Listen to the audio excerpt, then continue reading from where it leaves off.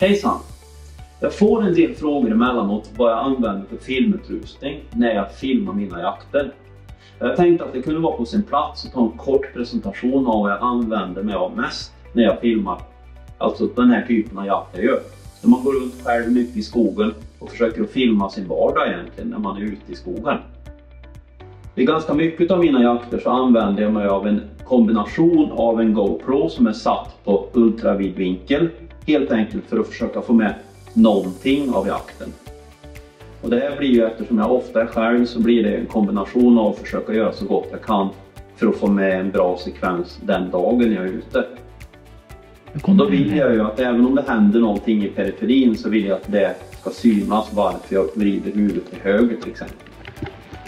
Samtidigt är det ju att jag den här satt till för att få med någonting så är inte läget jättenära så blir det oftast ingenting som är värt att visa på film. För det blir för tydligt helt enkelt vad jag egentligen har skjutit på till exempel.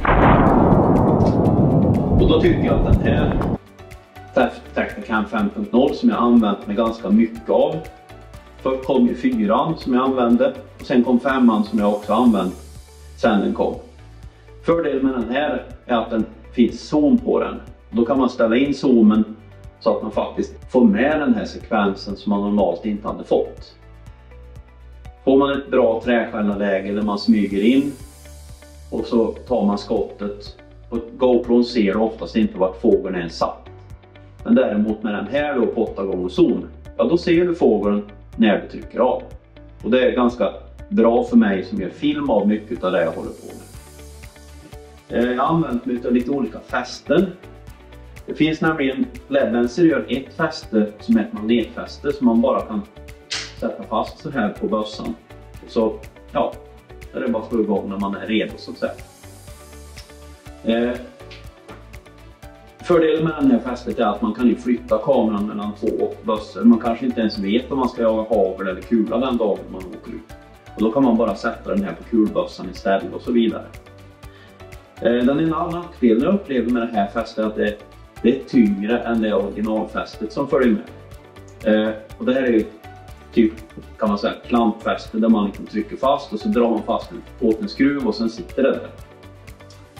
Tacticam har ju också en wide-kamera, alltså en vidvinkelkamera. Och den här brukar jag använda ganska ofta när jag står vid ett gryt. Där jag kan sätta upp den i ett läge där jag tänker, eller jag har kanske två stycken sådana och sätter dem i olika grytgångar. Där jag tänker att kommer den även ut så kommer den komma ut här och springa emot kameran till exempel. Och det kan se ut så här.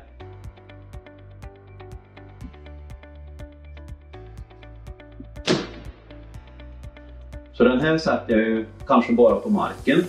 Sätter en sten här så att den filmar, sitter still på backen eller så sätter jag den på något av mina stativ. Film through scope. Och det är alltså en anordning som man skruvar fast bak på kikarsiktet. Och det ser ut så här. Eh, själva fördelen med det här är att du sätter fast det här, monterar dit kameran som också är efter, eller Tacticam 5.0 och då filmar du det du ser genom kikarsiktet. Så oberoende av vilket läge du har, så om du väljer att trycka av, då finns det med på film. Och jag tycker det är jättebra, det är smidigt och det väger inte mycket dessutom. Och det kan se ut så här ungefär.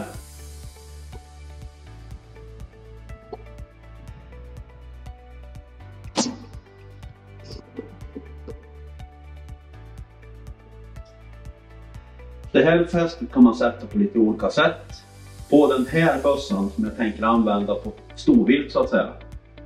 Då har jag satt det lite snett och det är helt enkelt för att mitt vänsteröga ska kunna sköta vidvinkelsikten.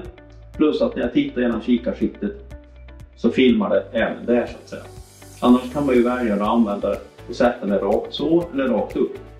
Men här tycker jag är mest optimala placeringen på den här bössan har blivit. På min Hysch Top Powerbössa så har jag med tanke på att det ändå sitter en targetrapp här så jag satt kameran, eller kamerafästet ja. så här istället. Det här kan ju till exempel när jag skjuter en order på 300 meter. Ja, det blir det med på ett jättebra sätt. Och jag ser det Ja. exakt vart jag höll krysset när jag tryckte av. Jag hoppas du fått lite kunskap och inspiration över hur du kan använda de här kamerorna för att göra bättre filmer.